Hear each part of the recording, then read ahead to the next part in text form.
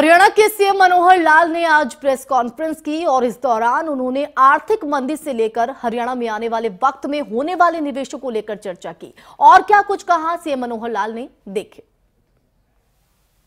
देश भर की बहुत सी योजनाएँ उनको तो फॉलो कर ही रहे हैं और उनको जो योजना बनती है उसको सबसे जल्दी सनी, सबसे पहले लागू करने वाला कई चीज़ों में हरियाणा प्रदेश है। वहीं स्टेट की ओर से भी हमने जो योजनाएँ बनाई हैं, खास करके गरीब परिवार जिनकी आय वार्षिक एक लाख अस्सी हज़ार रुपया से कम है, ऐसे परिवारों को सुविधाएँ ज़्यादा ज़्यादा हम दें।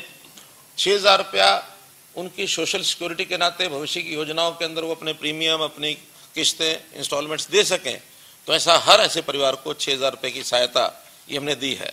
केंद्र सरकार ने छः हज़ार रुपया अलग से दी है, हमने छः हज़ार रुपया अलग से दी है, ताकि इसका लाभ इसके लिए सभी परिवारों का रजिस्ट्रेशन हो रहा है और एक परिवार समृद्धि योजना के नाम से इनको ये पैसे की डिस्ट्रीब्यूशन होगी मैं समझता हूँ कि निवेश के नाते भी अच्छा निवेश अस्सी हज़ार करोड़ रुपए से ऊपर का निवेश हो चुका है और बाकी जो एमओयूज हैं, उनसे लगातार हमारे जो रिलेशनशिप मैनेजर्स हैं, हर एक एमओयू के साथ हमारा एक कोई अधिकारी, कर्मचारी अधिकारियों में से एक व्यक्ति को हमने रिलेशनशिप मैनेजर लगाया हुआ है।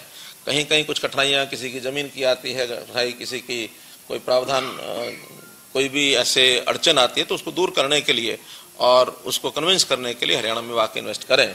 और ये जो हमारा पचासी हज़ार पचासी, अठासी हज़ार करोड़ रुपए का इन्वेस्टमेंट हुआ है, ये किसी भी पाँच साल के पिछले पेड़ में कभी इतना नहीं हुआ है। बॉन्ड जारी करने के लिए सार्वजनिक बैंकों को सत्तर हज़ार करोड़ रुपए उपलब्ध कराया है, जिससे पाँच लाख करोड़ रुपए के बॉन्ड्स यानी चल निधि, जिसको कहते हैं, चल निधि जारी की जा सकती है।